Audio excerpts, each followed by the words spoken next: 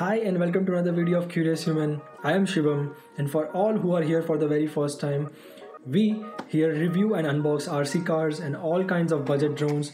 So don't forget to subscribe to this channel and press the bell icon so you never miss any of the future videos. So today we are going to review a drone from a company which is coming out with their very first drone and they have approached me to review this drone that company is actually in the market for like a couple of years and they sell uh, action cameras security cameras uh, and now they recently ventured into the drone market. And i am here talking about the company kueu or kuau however you want to pronounce it. So let's go ahead and review this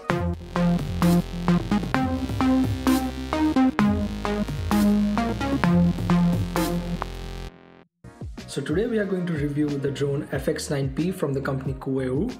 Um, apparently this is their very first drone, so they're already under a lot of pressure to perform and let's put it to the test.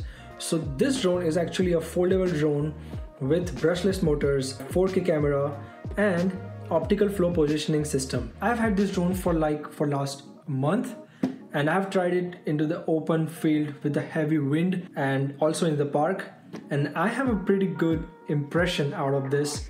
I've also figured out a really cool thing about the drone and the motors that I'll be discussing at the end of the video so please don't forget to watch this video till the end. So this drone will cost you about 250 bucks on Amazon and I have put the link in the description so don't forget to check it out. So with that 250 bucks you get the main drone. Uh, it comes with a foldable arm design which is really good if you're planning to take this while traveling.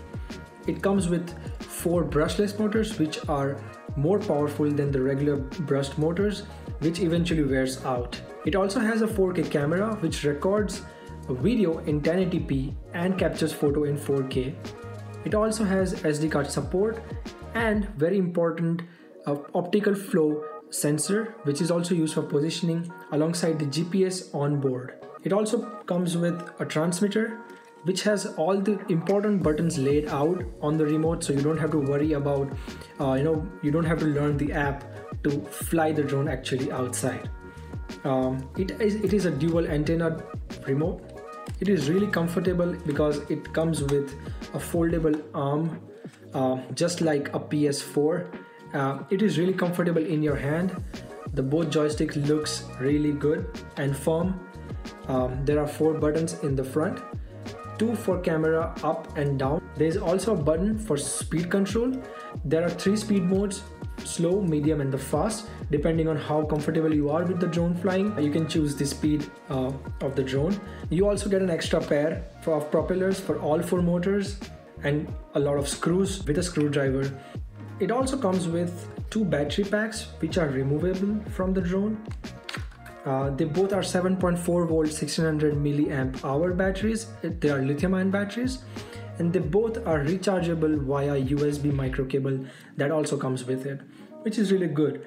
Uh, the only thing is that the both batteries they take about 300 minutes to charge and that gives you about 22 minutes per battery of flight time which I think is a long time to charge but looking at the price range it's a good option to have. Everything comes in a very very fancy bag uh, which packs everything and it's a very lightweight and a very sturdy bag and I am impressed with the overall packaging.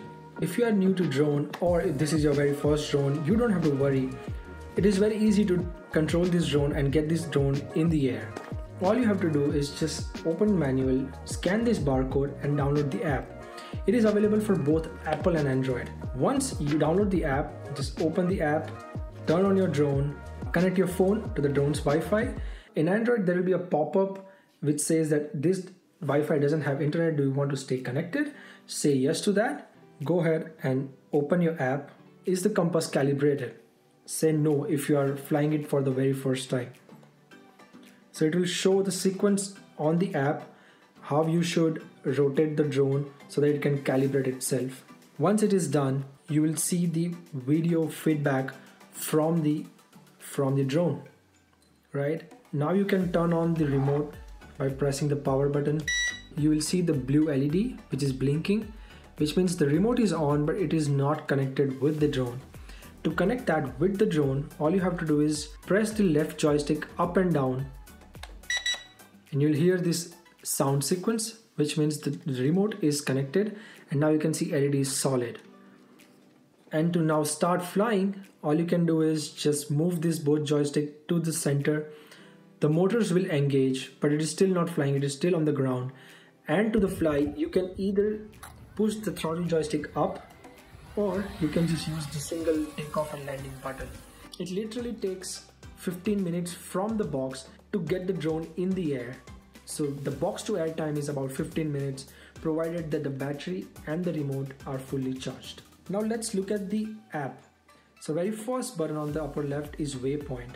Waypoint is basically you just tell the drone that you go on this five points and come back to me. And uh, this app allows you to select five waypoints at the max.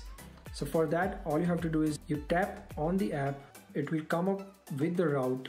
You press the third button, which is sending information to the drone. And once the data is sent to the drone, you press the button and the drone will take off to the first waypoint, then second, third, fourth, fifth, and once it is done at the fifth, it will hover at that location.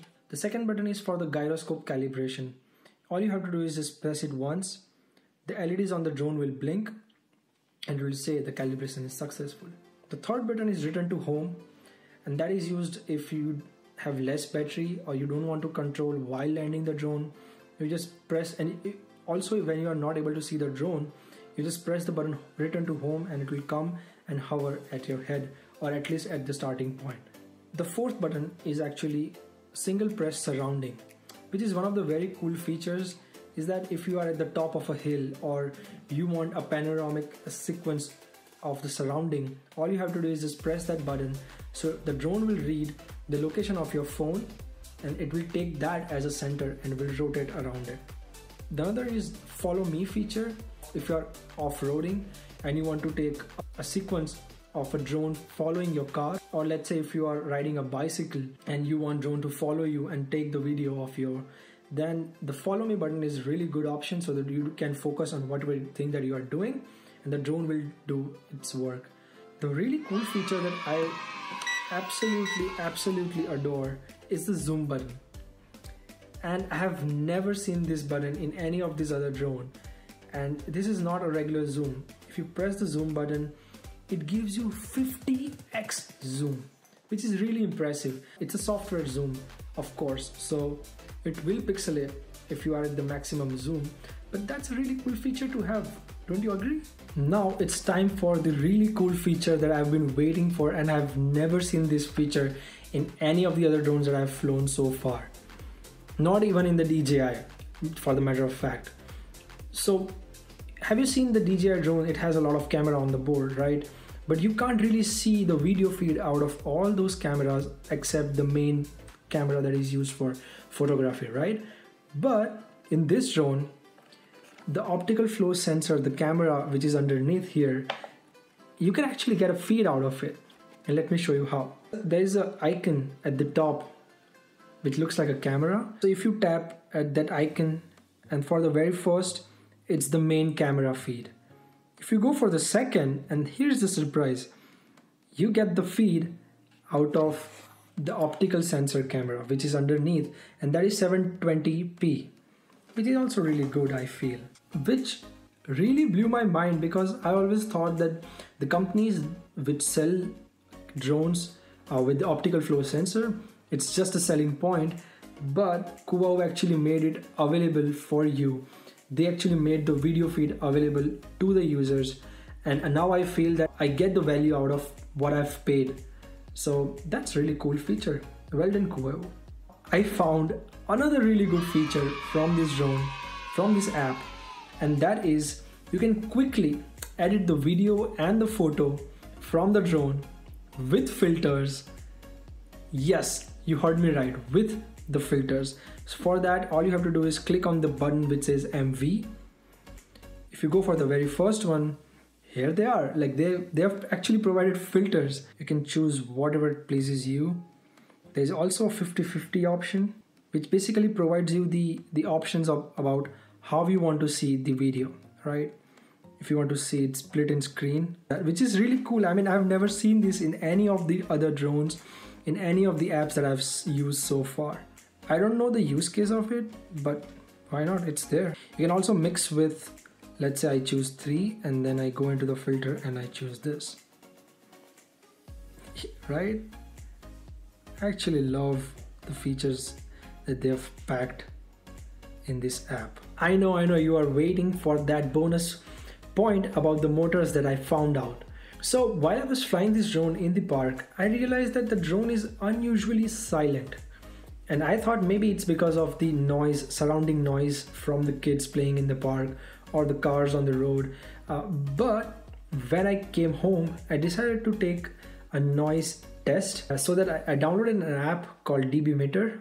You won't believe the noise level was just about 60 decibels, which is what you're hearing right now the conversational noise is around 60 decibels, which actually proves the point that the drone actually is really silent and it won't bother your neighbors. Trust me. So, we have talked about all the positive parts about the drone. Is there anything that I didn't like about the drone? Yeah, of course, there are a couple of points that I didn't like, or let's say there is a room for improvement. In the Android app, uh, there are a lot of bugs in terms of where the the value placements are and the button placement on the app. I would really love to see the updates on the app side, on the especially on the Android app because I'm impressed with the iPhone app. And one of the biggest issue that I found in this drone, this drone is from the company COOAU, right? But if you look at the product branding, which is done all over the product, I see COOAU nowhere.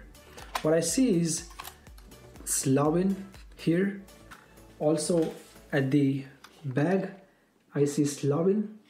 But when you go for the remote controller it says explore. But I didn't find COOAU, the word COOAU itself anywhere on the product. So which I think it's a mixed branding signal. And it may hurt the company name the brand name. Coming up with their very first drone I think they should work on the branding of the drone as well I personally think the future of COOAU drone is really good because if this is their first drone and it puts them in a really unique position in the market in the same price range, I think this drone is a really good buy. So don't forget to like this video and subscribe to my channel and comment in the comment section about what you liked about this video, what you want to hear more about a drone reviews and also something that I forgot to mention you can write it down in the comment section with your questions. I would love to hear them and i will answer all of them. Till then have a great day. Bye bye